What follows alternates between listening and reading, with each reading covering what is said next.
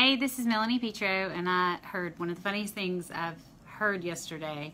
Of course, it came from a man who, even though sometimes they act like they don't notice how we look, if it's bad, they always they always notice, and they have the funniest analogies that I've ever heard.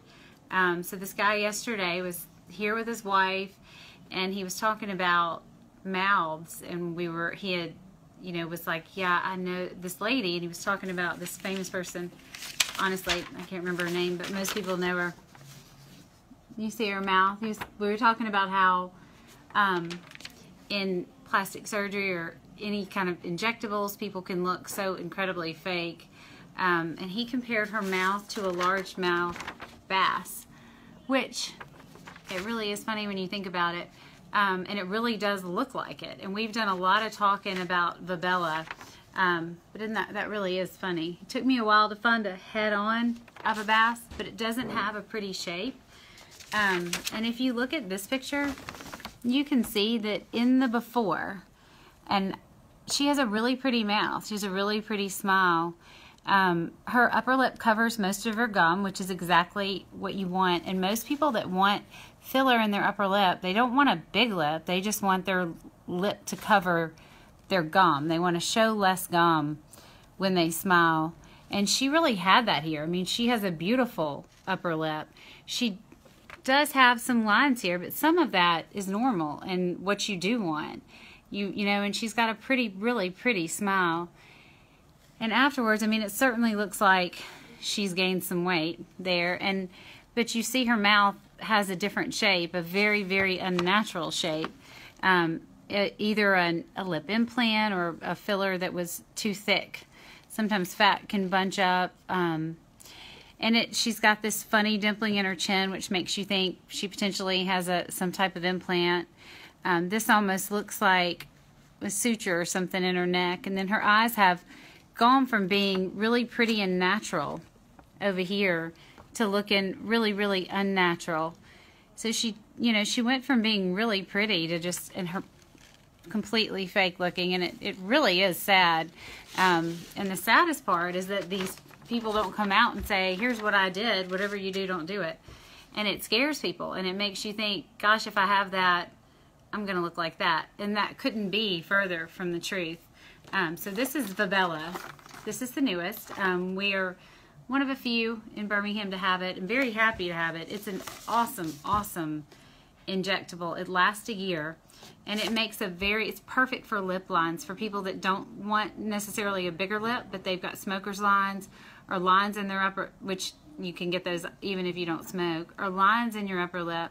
And when you develop the lines in your upper lip your lipstick bleeds into them so a lot of these people just feel like they can't wear their makeup anymore because of the lines. So they're just looking for something to where they can put on their makeup because as women that's what makes us feel better really um, when we get up in the mornings and put on our makeup and it makes us feel pretty. That's what we've always done. And so when you put on your makeup and it sticks in your pores or your lips, it bleeds up into your lip lines and you, I mean, it's just not a good feeling, especially because it tends to be associated with smoking. And most people that have it don't smoke. Um, of course, you shouldn't smoke or sit through straws. That's a bad thing for developing lip lines.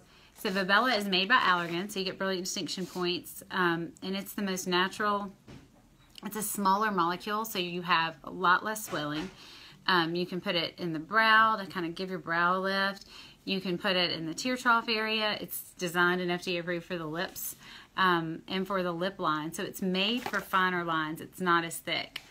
Um, Juvederm is still terrific. Voluma is great for the cheeks, but in those places where you just want a little something, we've had several people in the past few days who have never even had fillers who saw, we have a picture um, that you can see of Volbella. It's subtle. It's subtle. It's elegant. It's different than the other fillers um, for that reason because it's just a smaller molecule. So it works great. It lasts a year, which is longer than the others. And, you know, when you think about your mouth and you think about things that you want to do or things that you want to improve, everyone wants to look natural. No one wants to look like somebody else or certainly like a fish. And there is there is a fish, a really funny fish. I'm going to have to find it. But my son and I were out of town and he, we were at this aquarium and he sees this fish and he goes, oh my gosh, there's a Kylie Jenner, Jenner fish. It had these really big lips. So I'm going to find that too. Um, And if y'all can think of any fish, you can certainly post them. But it is funny the names that they give fish. There's a big nose something, and there are lots of them with really big lips. But it's fun to look at, and it's always funny how men are so good at coming up with analogies like this looks like a large mouth bass because I never would have thought of that. But it certainly shows you because when you look at a face and you study faces, you always want the angles to be natural and you always want it to look like it used to a few years ago and never like something weird or unnatural. And I think with fillers especially, it's almost you're almost more likely to come across someone that looks really unnatural because of fillers than you are with surgery because there's so many people putting them in.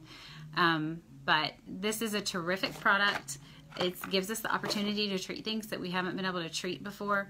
Little fine lines and people that want just that subtle difference so that um, they can tell a difference, but no one else can. So it's a great new product. We're very happy and excited to have it. If y'all have any questions, feel free to Facebook us. We have a few syringes left, and then October 17th, it'll be available. Um, so we'll be able to order more, but it is terrific. Um, I look forward to any comments. Please let me know if you have any questions at all, and we will see you soon.